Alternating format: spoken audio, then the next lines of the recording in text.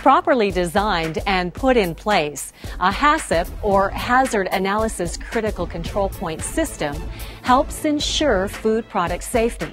It can also improve productivity and increase competitive advantage, enhance market access, and provide a competitive advantage. HACCP may help to decrease liability and reduce waste and production costs. But where do you start? Let me show you. HACCP should be implemented for all processing lines within a plant. But this may be difficult to do all at once. So to start with, select one of the lines. There are 12 steps in developing a HACCP plan and setting up a system.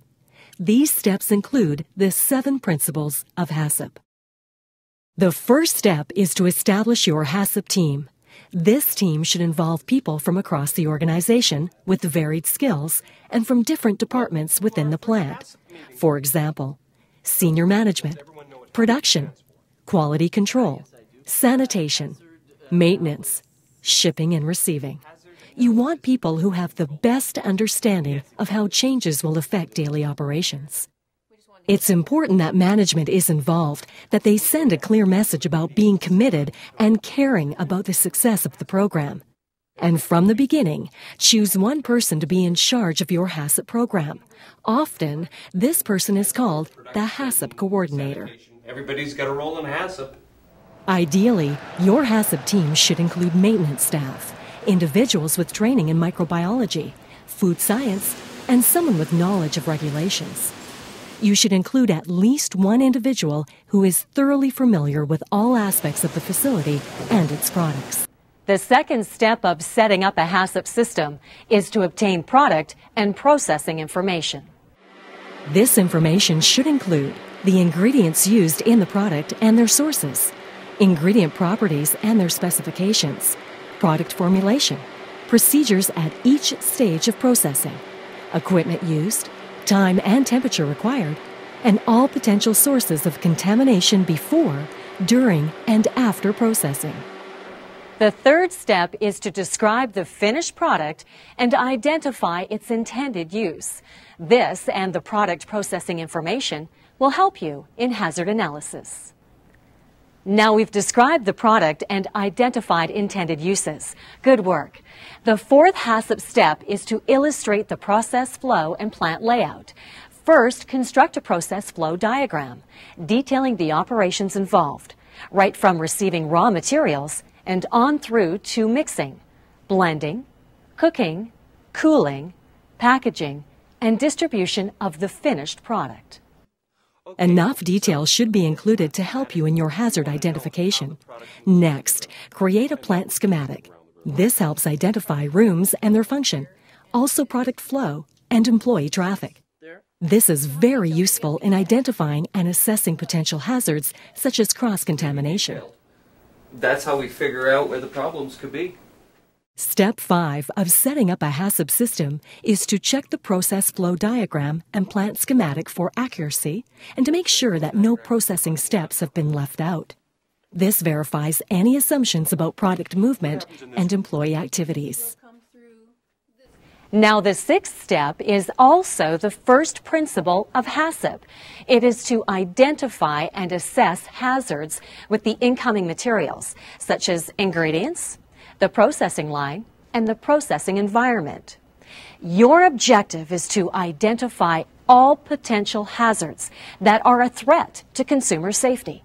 In identifying hazards, consider the biological, allergenic, chemical, and physical hazards of the ingredients. Also consider all process steps and whether hazards could be introduced at each step. There are three aspects to consider in hazard analysis. First, identify hazards associated with ingredients and incoming material. Each food ingredient should be checked for whether it could be a source of contamination, if it's something that sustains the growth of microorganisms, whether it's a microbial inhibitor, and whether there are any chemical or physical hazards.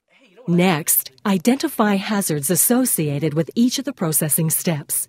Review your process flow diagram, plant schematic, and employee traffic patterns. After identifying ingredient and process hazards, it's time to identify hazards associated with operating practices. Observe your operations long enough to be confident they are the usual process or practice. Observe the hygienic practices of employees. Look for cross contamination after processing. If you're uncertain whether hazards exist in the ingredients or can be introduced in the process or operating practices, measurement and laboratory testing could be needed. Be sure to follow this up by analyzing the collected data so you can assess risks and set limits. All the information collected so far will help you in identifying hazards. Once hazards have been identified, the risk of each one needs to be assessed. Risk is a combination of two things. One is the probability of a hazard being present in a food product. The second is the severity of the consequences of being exposed to that hazard. So, if there is a high likelihood of a hazard being present and the severity of consequences are high, then the overall risk is considered to be high.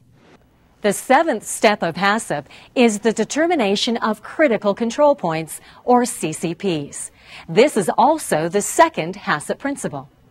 To identify critical control points, a team approach is best, since there's a considerable amount of discussion and science involved.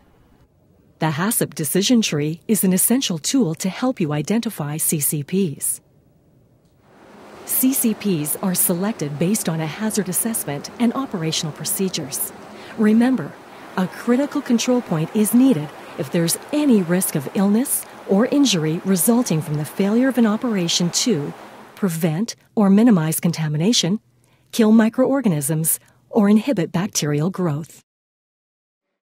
The eighth step of HACCP is to establish critical limits for each critical control point, which is also the third principle of HACCP. Please note that from this point on, each HACCP step mentioned is also a corresponding principle of HACCP. To know more about the seven principles of HACCP, please refer to Module 1. The most common parameters used for critical limits are time, temperature, water activity, pH, amount of preservatives, antibiotic residues, and microbiological and sensory information. Critical limits are set to ensure control of health hazards. They can be based on government regulations, industry standards, company standards, and scientific data. Make the criteria understandable and to the point so there's no confusion among employees. Displaying the critical limits next to the critical control points is an excellent way to help employees identify when the process is out of control. This is usually done by detailing the critical limit on the CCP monitoring record. It's vital to monitor your CCPs and record the data. And this is the ninth step to implementing HACCP. Monitor critical control points. Once your control measures are in place and food safety criteria has been established, decide on effective monitoring procedures. To ensure food safety, you must establish a monitoring schedule. Continuous monitoring using automated methods is best. Also, in some cases, regulations require continuous monitoring, such as using a chart recorder when pasteurizing milk. For batch processes, it may be necessary to monitor every batch of product or second batch in large volume production, where thousands of kilograms of products are produced in an hour, and depending on the CCP, it may be necessary to monitor every five minutes. Employees need to know why monitoring is necessary. They also need to be trained to conduct the testing. And they need to be shown what action to take if there is a deviation or, in other words, when a critical limit has not been met. But we are getting ahead of ourselves here. Monitoring is best accomplished with quick, easy methods so a problem can be identified and corrected immediately. Monitoring can include chemical measurements. Examples include measuring pH, residual chlorine, percentage of salt, and sugar concentration. Physical measurements include temperature and or time, water activity, and metal detection. Now, the 10th step to implementing HACCP is to establish corrective action or deviation procedures. When results show that critical limits aren't met, prompt corrective action must be taken. The corrective action will depend on the potential hazards associated with the product. This might include increasing processing temperature, reheating or reprocessing, adjusting quantities of preservatives, stopping production, or holding product and investigating. To maximize your product safety, the right action is necessary to correct any deviations that happen. Step 11 of setting up your HACCP system is to establish verification procedures. Once your HACCP system is in place, have it critically reviewed. This can be done by quality assurance personnel, corporate food safety, or outside consultants. There are several ways to verify a HACCP system. Examples of verification procedures include checking monitoring records, observing operations at critical control points, checking calibration of monitoring instruments, analyzing and evaluating a product to confirm its safety, reviewing customer complaints for any allegations of foodborne illness and quality defects, and lastly, doing a statistical evaluation on monitoring data. Be sure to review your HACCP plan periodically to make sure it's working, and then make the changes indicated from your verification procedures. The 12th and final step of HACCP is to establish a record keeping system. So, what should you be keeping records of? Monitoring data, deviations, corrective action, and verification of results must be clearly recorded. Records must specify who recorded and verify the data. These records are important because they give you a product processing profile. They can be used to confirm that the process was in control, or the records can show you where any deviations need to be corrected. So that's the big picture. It's a lot of work, but it's definitely worth it. Putting a HACCP system in place is smart business. Let's take a look at what those implementation steps are once again. Step 1 Assemble your HACCP team. Step 2 Obtain product and processing information. Step 3 Describe the finished product and identify its intended use. Step 4 Construct a process flow diagram and plant schematic. Step 5 Check the process flow diagram and plant schematic for accuracy. Step 6. Identify and assess hazards. Step 7. Determine critical control points. Step 8. Establish critical limits for each critical control point. Step 9. Monitor critical control points. Step 10. Establish corrective action or deviation procedures. Step 11. Establish verification procedures. And step 12 establish a record keeping system. By putting HACCP in place, you'll have a system that will be the pride of the company, the security of your customers, and the envy of your competitors.